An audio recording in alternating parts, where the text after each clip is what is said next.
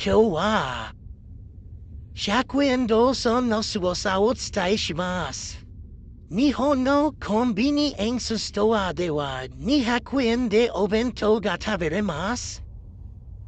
おー、卵焼きだらけ弁当200円。